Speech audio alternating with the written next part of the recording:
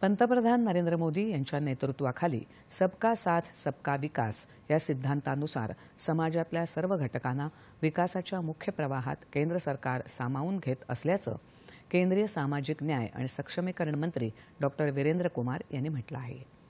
पुण्यात विसाव्या दिव्य कला मेळाव्याचं उद्घाटन आज त्यांच्या हस्ते झालं त्यावेळी ते बोलत होते. या दिव्य कला मेळाव्याचा अधिकाधिक प्रचार करावा कारण दिव्यांग हे आपल्या कुटुंबाचाच भाग आहेत असं आवाहन त्यांनी केलं.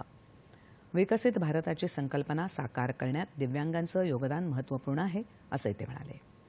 वीस राज्य आणि केंद्रशासित प्रदेशातले कलाकार उद्योजक या मेळाव्यात सहभागी झाले आहेत. सुमारे शंभर दिव्यांग कारागीर यात आपली कला सादर करतील. या माध्यमातून विविध उत्पादनं आणि सांस्कृतिक वैविध्य पाहता येईल.